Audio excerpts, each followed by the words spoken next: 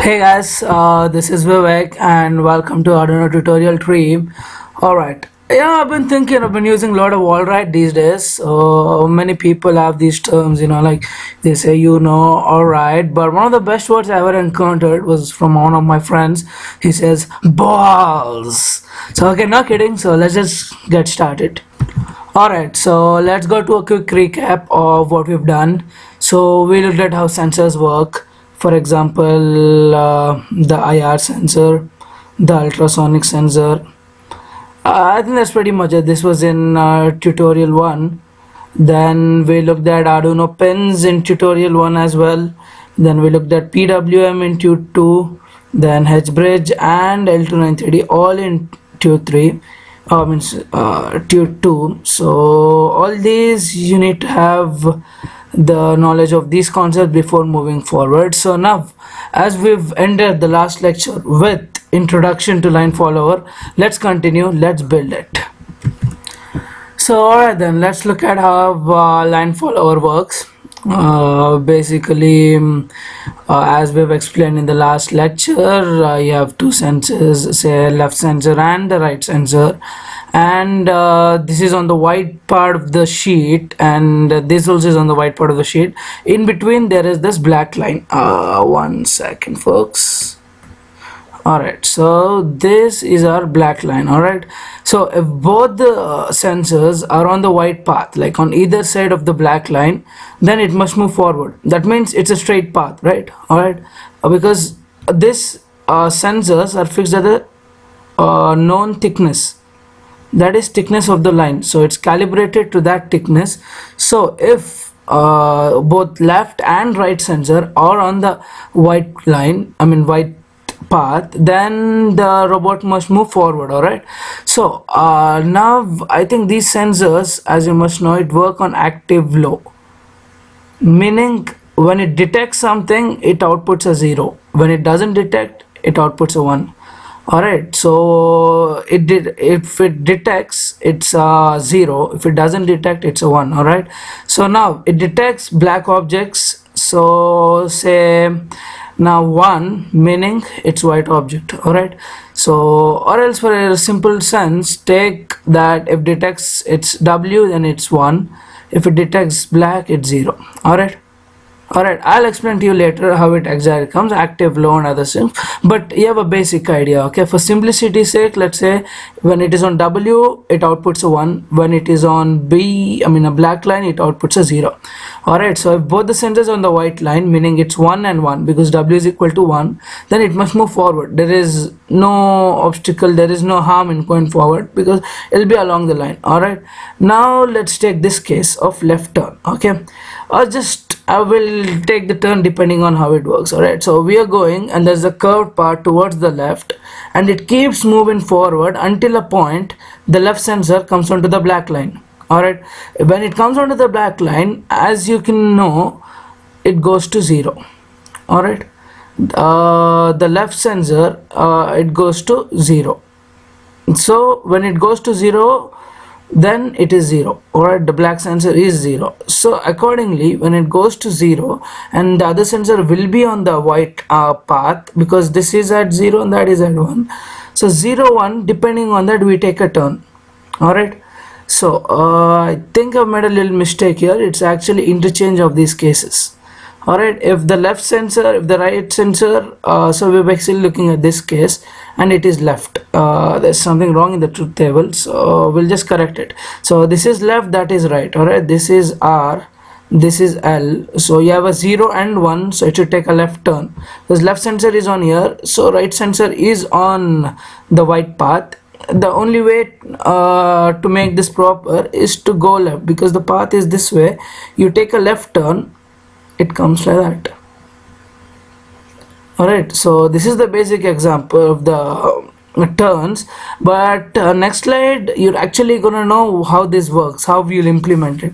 But as uh, a small introduction you can understand when the left sensor comes onto the black line it should move towards left all right it's simple sense okay? Eh, when you look at it practically you'll understand better. But just remember when the robot moves towards the left uh, I mean when the left sensor is on the black line it should move towards the left and vice versa. When the right sensor is on the uh, black line it should move towards right.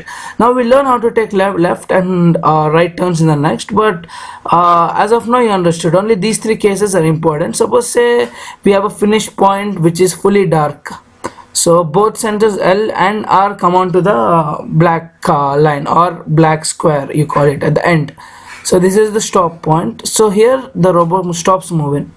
Alright so these are the four cases. Uh, this is the last case which is pretty easy. We're gonna use it only once in our uh, you know once in our circuit. But these three we need to keep on loop in it okay? So we're gonna discuss how we're gonna implement a left turn or right turn and a forward okay. Forward is pretty much easy. Left and right you little much you need to understand. All right. So i think this is cool right? Uh, just remember how it works all right? Left on the black goes towards left. Right on the black goes towards right. Both on the white goes forward. Okay. So we'll move on. All right guys. So we looked at the um, uh, rough truth table or state diagram of the left sensor and right sensor and how do you take actions depending on the uh, outputs. So now we look at the mo moment algorithm. This moment algorithm is nothing but how do you implement data and relate that to the movement of the motors or wheels okay? I use the terms wheels and motors interchangeably but uh, they both mean the same okay many of the times. Uh, let's say for better understanding we take wheel because you can actually picture a wheel moving uh, in either of the directions. Okay this is our output. You can see it through your eyes. But as motor spinning uh, i don't think you can see it so much. So for this example i've taken wheel. So because you can picture it you can just think of a car moving you can think of a bicycle moving. Uh, for example take uh, it's kind of a car okay? But uh, with a uni or take an auto i think auto is a better example. So this front wheel it's just there uh, it's for direction we know that. Uh, but in our case we don't have this front wheel. All right we just have these two wheels.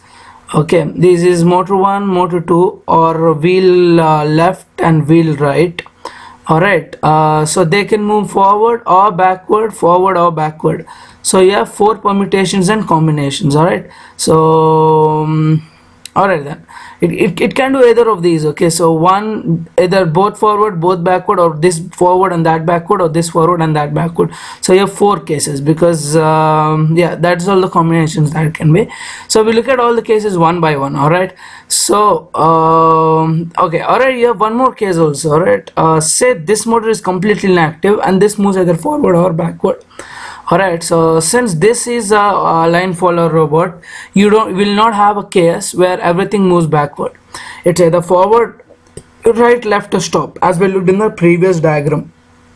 Alright so now let's uh, picture how it works alright? If the robot has to move forward it just means both the wheels have to rotate in forward direction alright? So wheel left should be going forward wheel right should be going forward at of course equal pace okay it should be going at equal uh, speed. You know roughly equal speed almost equal speed. Uh, or else it's gonna go haywire alright? So generally these motors they're designed to run that way okay? So we put a motor of same rpm to drive both these wheels okay? Same rpm all right. So we'll uh, for forward condition we'll uh, left moves forward and right moves forward. Now uh, for backward also it's pretty intuitive all right? Uh, the wheel left moves backward wheel right also moves backward then the whole thing moves backward all right? Because this and this same direction of course this in this same direction forward backward. All right, it is simple cases just picture it okay?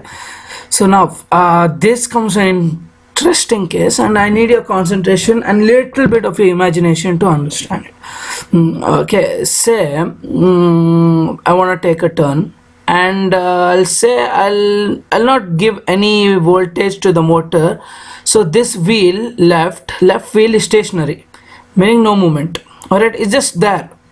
Okay now I'll just give the right uh, wheel or uh, right motor uh, some uh, voltage alright I'll make it move forward in the forward direction. This is stationary and this moves forward. Alright so imagine this is like you have an object tied or you're holding a stone or something by a thread and you're swinging it. Alright when you give it some push that means say this is wheel left and this is wheel right. You can see when this is stationary and this keeps on moving with respect to this point alright respect to this point this is going left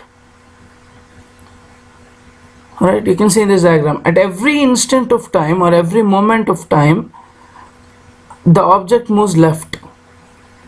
And you hold the stationary and give it give your other tire a forward boost. Okay just uh, try. Just one is stationary this is moving. You can see at every instant of time if you draw the tangent to get the direction it is moving left okay. So our condition to moving uh, tire or uh, robot left is keep your left wheel stationary and your right wheel forward. Okay. So by this principle it moves it's keep on moving left because it's held to the center right? This distance between wheel 1 and wheel 2 is constant. So it has to turn left I mean it doesn't spin completely because uh, the track if it is totally circular it's gonna make a turn. Whereas if it's just uh, if the track is just little bit of curve alright so when the sensor comes onto this it makes a left turn and the sensor is back on the white path. Okay this is left this is right sensor. This is previous diagram alright. So this is state 1 okay so this is at time uh, 7 seconds and this is at time 8 seconds. So in 1 second it just turns a bit then the sensors are back on the path okay? They're back on the white path. So it continues to move forward. So it just makes a tiny bit of a turn for small instant of time say one second. This is just an example. It can make for much smaller times it can make for much bigger times. But generally it is somewhere close to half a second to one second or the turn so you just understood right? Just when the lensor comes it, it just moves in a minute time discrete function. Okay it doesn't take if we say left it doesn't keep on going left. It goes left till it detects the sensor data. And sensor data according to us it uh, refreshes or it gives a new value every 1 by 100th of a second okay so this is a pretty small time all right? So if there's a minute turn it might not turn. But if uh, if it can detect anything in the range of this small time interval then it can surely turn and be on the right path. All right so did you get it? Uh, left moves left wheel stationary and right wheel forward it moves towards left. Just like in this diagram you're swinging a, um, a stone tied to a rope or something like that it just uh, moves towards the left. Uh, then right is just complementary. You keep your uh, wheel right uh, stationary and you move your wheel left then it's gonna move right right then uh, again when it detects a white path on both the sensors it again moves forward. Okay this is just for small instance of time when there are bends when there are L shapes and everything it does it okay? So in line sensor we generally don't have a rectangular bend because it uh, you need for complicated coding and more sensors. We'll just look at a little bit curvaceous part alright? This thing with some angle theta where theta is less than 90 degrees alright? So it's like that. This is theta and theta is less than 90 okay so for that part it's just gonna bend and move. Fine so yeah so that is it. Uh, we're gonna look at uh, so I guess it takes some time to observe this. If you want just rewind till this slide and watch it again. Uh, I'm sure you'll understand because it's simple concept but little tricky. Just use your imagination. Any doubt you sure come back to me alright? So fine next slide then Alright then, uh, so you've looked at how sensor data matters in taking a decision and uh, how the motor uh, or the movement algorithms work. So now it's time for practice. Now we're gonna implement this design uh, in, in our robot. So see this is the truth table and the respective motor controls and this is the direction how it's gonna move all right so we'll go uh, these four uh, states each one by one. All right so as you know sensors are active low so meaning one it's on the white path zero on the black path. Okay so uh, when you look at this uh, let me just pause that for a second okay I just made the same mistake as I had done in the previous uh, truth table. So this is the correct truth table now. Alright whatever is in front of you? Uh, just where the right and left cases were interchanged because I totally forgot that it was uh, active low all right so now this is the final truth table and the motor controls. We'll go each case one by one okay? If you can understand this then uh, it's almost done. You've implemented the design so we'll just look at it each case all right so first case all right so l is 1 and r is 1 that means we know w is equal to 1 and b is equal to 0 meaning if it's on the black line you get an output of 0 now it's on the white. So left is on the white right is on the white. That means uh, we have to drive forward all right the direction is forward. Now to drive it forward uh, as you've seen in H bridge and your L293D the inputs A and IB must be 1 and 0 alright the polarity must be applied in this direction then it moves forward. Alright so both have to be similar manner because both have to move forward. Forward as we have seen in the movement control algorithm both tires or both motors have to go in forward direction. So wheel left wheel right forward. So 1 0 is to go is to make it forward all right so this 1 0 it's pre-configured it comes with IC you can vary it okay? You can make it high low active or active low or active high anything. But as a standard value this is pretty much easy. 1 0 that motor moves forward. 1 0 this motor also moves forward. Then we have the case all right 0 1 it moves backward okay? And uh, 0 0 and 1 1 uh, the motor stop all right right motor and left motor. Now IB and uh, IA and IB are used to control the left motor. IC and ID are used to control the right motor. Alright so left has to go forward right has to go forward. 1010 simple case. You can see. Okay. This is uh, how uh, the output is gonna look like. Both wheels forward. Now let's get to the interesting case. Alright our left case. Okay. So now we're moving. Now the left sensor is on the black line. It's like this. Left is on the black. Right is on the white okay so this is 1 this is 0 so 0 1 alright so it has to take a left turn. Now as we looked in the movement algorithm left turn is nothing but left wheel stationary and right wheel forward. Okay that's exactly what we're implementing here. Now left wheel stationary this is to control the left wheel L motor. So 0 0 is just stop. Alright it's not gonna move. So we have achieved this now to achieve this to move it forward 1 0 similar to the previous case. This and this are similar. So and these will be similar. Now this is this was moving forward. Now it stopped. So it was 1 0 it's now it became 0 0 alright pretty intuitive right?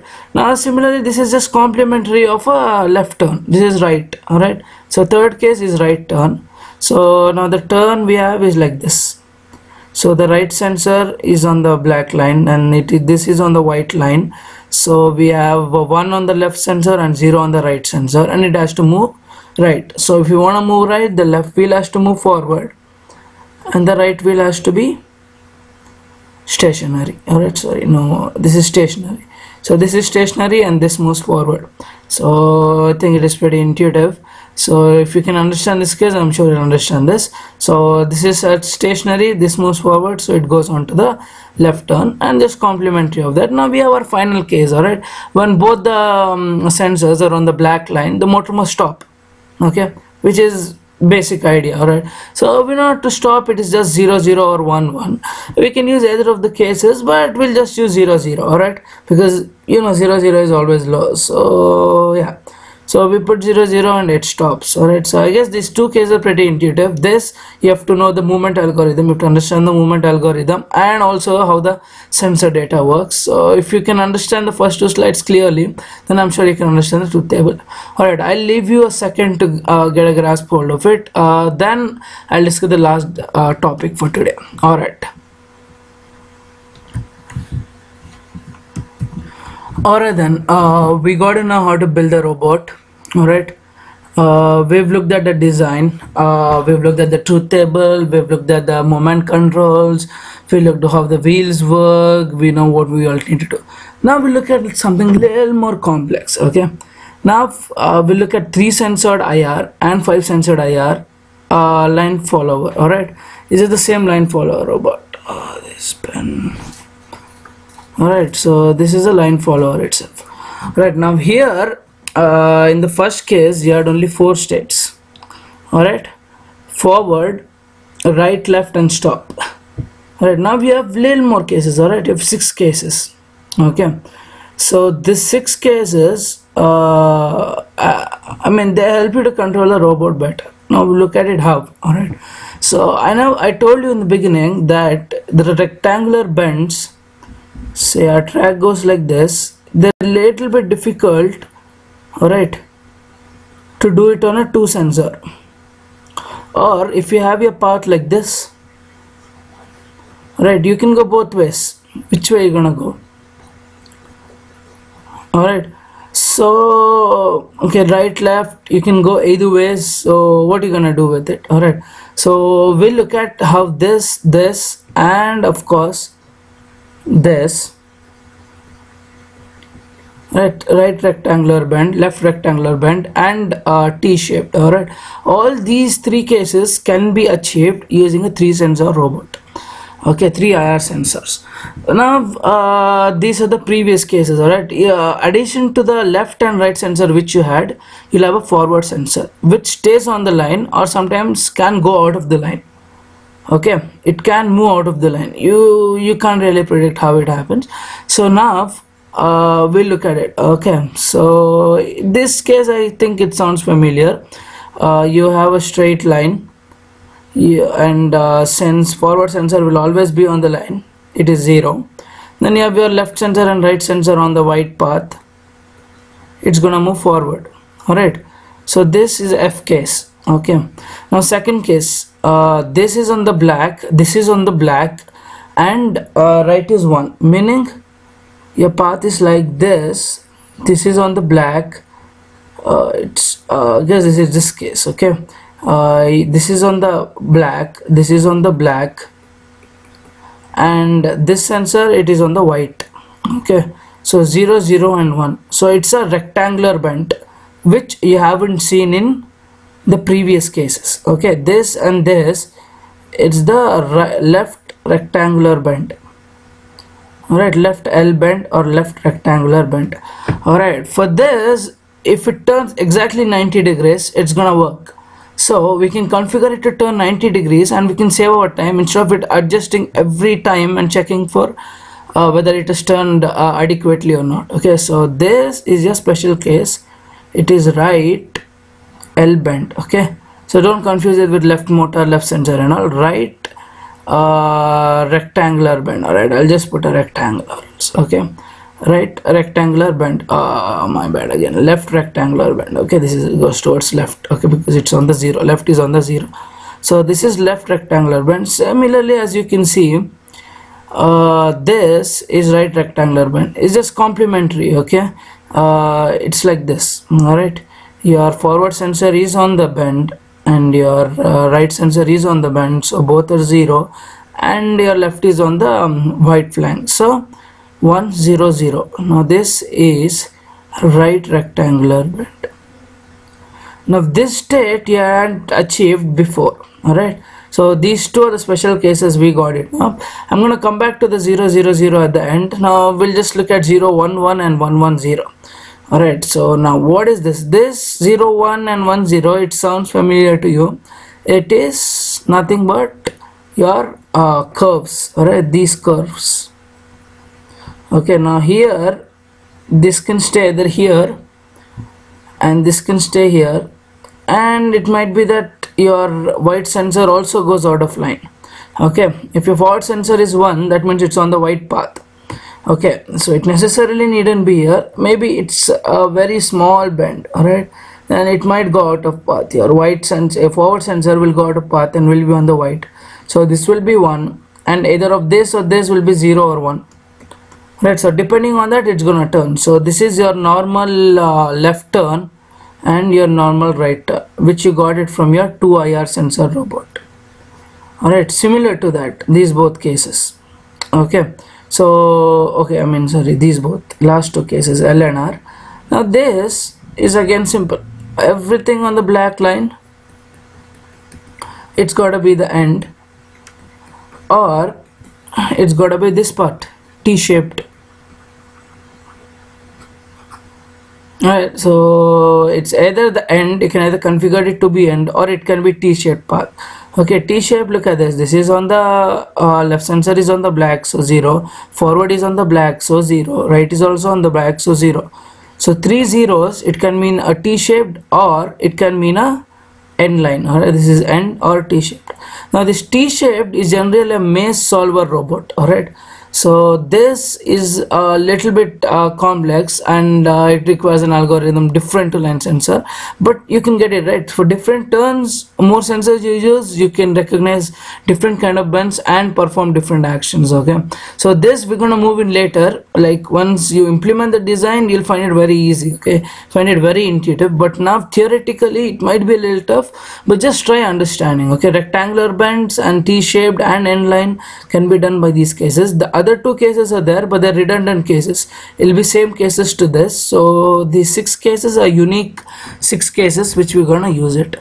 Okay so I guess you've uh, pretty much understood all this three sensors so right rectangular left rectangular t-shaped end line then you have this truth table then uh, we're gonna implement it further. Now uh, I'll just give an introduction to fifth line fifth uh, sensor uh, five sensor IR robot it's not gonna be built uh, now but it's used more for precision control I'll just tell you it is much similar if you can understand the third three sensor IR robot then I'm sure you can understand the five sensor I'll just give a small introduction uh, just for two minutes and we'll wind up Alright, now the 5 sensor model, you have 5 sensors. Uh, we call it L2, L1, F, R1 and R2. Okay. So these are placed like this 1, 2, 3, 4 and 5. Now these are nothing but uh, they're for more precision control. Alright. So you might have a fully curved bending. Alright, the bend might be a tight one. It might be a rectangular one. It might be a U bend. Okay and uh, or it might be a smooth curve now what happens when you're using a high speed bot uh, these generally tend to go out of the path at high speeds okay? Because uh, sometimes three sensors before they can sense the robot is already out of the path because due to its high speed right so to control it we use this five sensors. Now how these five sensors works i'll just give you an example all right now we'll take this care of we'll take care of this uh, left rectangular bend all right this rectangular bend here you can see now uh, your L2 will say L2 this is L2 L1 F R1 R2 now this rectangular bend can occur in both both of these ways okay? It can either be like uh, your both L2 and L1 are on this or you have L2 L1 and F. Three of your IR sensors on the black line. So it can either be cases of uh, 0 0 1 1 1 uh, no, or it can be 0 0 0 1 1 alright so depending on that you can take an action right? So this uh, I think you have to steer it more towards the left. This it's a simple left right? Because it's on the edge. It's like like that. It's a rectangular band now this is straight and pakka left but this is like this. So you have your forward sensor out of the line here. Here you have your forward sensor on the line. So this is um, perfect rectangular bend and this is a curved rectangular bend. Alright so again splitting your rectangular bend into various uh, sub bends alright? So to get more precision to get more accuracy what you do is you use more sensors. Now where you bend you have uh, here you have a sensor on it here you have it on the line here you don't have on the line on the line off the line so you can specify an exclusive case for a U bend but whereas with three sensors I don't think you can. Two sensors of course not possible. So five sensors it's for more precision. Alright you can make different kinds of bends you can recognize various type of bends you can make adjustments accordingly. So you have your L2 L1F R1 R2 five sensors and by different uh, outputs you get you can uh, uh, steer your robot in various ways. And this is similarly again if it's black zero it's when it's a black line is zero white equals one. Similar cases only that uh, you'll have more cases all right? First you had four cases next you had six cases now it's 2 power 5 so you'll have 32 cases. Out of there the redundant cases so you'll get uh, depending on which all you need to recognize you'll get 22 to 25 unique states okay so to derive it it's pretty complex but um, uh, we're gonna do it sometime around or we're gonna use a ready-made program. Uh, maybe we're not gonna use all the 22 to 25 of these states but we're gonna use certainly more than 10 and uh, less than 20 right so this is our cases. X somewhere between 10 to 20 we're going to use this many cases to predefine all of these conditions so the robot will know irrespective of how the cases may be it's gonna turn. Now can you understand? First lecture we talked about Curiosity how it goes on the moon. All right? So Mars it's a totally unknown planet. It can have any kind of uh, nature. It can have any kind of habitat. It can have any kind of terrain. But that robot must be able to navigate itself. So you could imagine how many sensors it might have. Uh, generally it's in uh, at least uh, some 30 to 80 sensors are there in this curiosity robot along with not just ir sensors or this it has along with uh, uh, altitude meter and other meter to navigate curiosity alright? So you are understanding the complexity. So we went from 2 to 3 now to 5 there is 7 and next will be curiosity. So if you can understand this then you can understand this then you can understand this then you can go for this and finally you're gonna get this alright. So if you try to basically understand that curiosity in the beginning without knowing how the small things work then I don't think we'll get far with it.